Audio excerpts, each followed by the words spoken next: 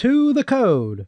Of course, it's customary when exhibiting a big data framework for the first code to be the hello world of big data, counting words. As we've already briefly seen during installation, Spark comes with a shell that can be used to run interactive queries. A short tutorial on interacting with a shell like this can be found in my Scala course in the first module section named The REPL Getting Immediate Feedback. In fact, the Spark shell is the same one used for regular Scala applications, except with some minor modifications. It's how Spark is able to bring interactive querying to big data. The ability to test your code and get immediate feedback is very powerful for building applications iteratively and quickly, which is why we'll be using it for a number of the samples throughout the course, where a discrete, focused example will best display the properties of the method being described. Now, Let's boot it up by typing spark-shell in the command window, as we did during the installation section. The first thing to notice is that the shell automatically creates two values for you, one named SC and the other Spark. Spark is typically used for the Spark SQL library, so we'll return to that in a later section. SC, on the other hand, is the main starting point of a Spark application, a Spark context thus the name of SC. All Spark jobs begin by creating a Spark context, which will act as the delegator of many aspects of control for the distributed application. We'll dive into more of the details on Spark contexts in the next module. For now, we'll use the one which is supplied to us by the shell construction.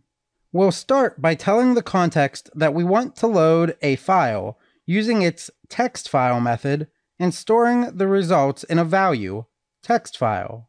For simplicity, we're using the README file that's packaged at the root of the Spark distribution.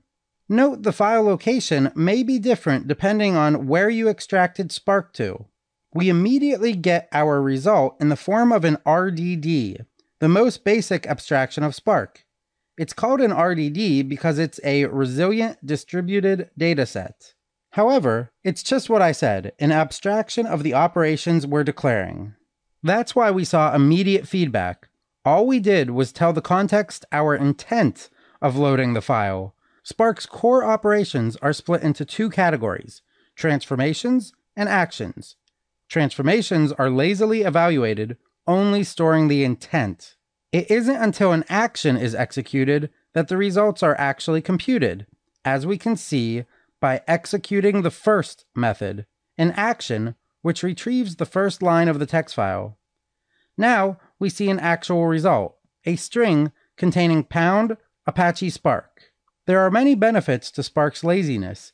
In this case, we didn't need to read the entire text file, only the first line.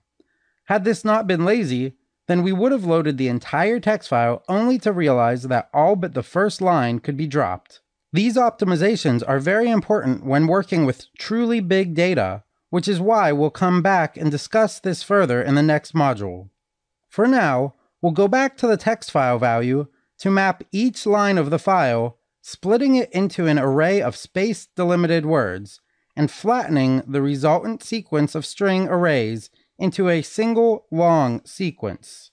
So we now have a new RDD. However, this time the strings it represents are not the lines of the file, but instead all of its words. So, we now need to set up our sequence for counting by changing each word into a key value pair where the word is the key and the value is the count, seeding with an obvious count of 1 for each uncounted word string. With the data prepared into this key value format, we can now reduce the values down to a single count for each key, adding up all the ones in each word bucket. And what use is a word count if we can't see it in sorted order? Here, we're simply sorting our list of word count pairs on the count in descending order. The underscore 2 is simply Scala's way of accessing the object in the second position of a tuple, which is how this key value pair is being represented, as a tuple 2.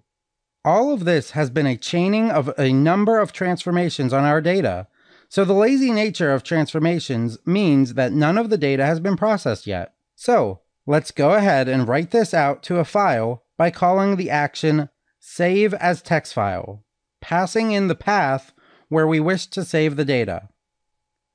If we go to that path, we'll see not a text file, but a folder of that name. That's because this is written out as Hadoop distributed. So, to see our data, we can go into the folder and review all of the parts, where the number of file parts equals the number of partitions that our dataset was distributed across. Notice that the ordering is preserved, with the first file containing our largest items, and the second continuing through the list. This ordering would be maintained no matter how many partitions were used. The data would just be split into more files, which would be distributed across a number of machines in the normal production case. We'll dig more into the mechanics of this in the next module. But now that we've seen the map and reduce way of counting words in Spark, let's see an even simpler way. The pattern of mapping into key value counts and reducing the values for counting is so common that there's an API method for it, count by value. It combines the map and reduce by key into one well named method. Spark is no different than any other framework. Half the battle is knowing your arsenal in the form of all the different API methods. It can keep you from over or underkill by using the right method for the job. We'll discover many other hidden gems just like this throughout the rest of the course.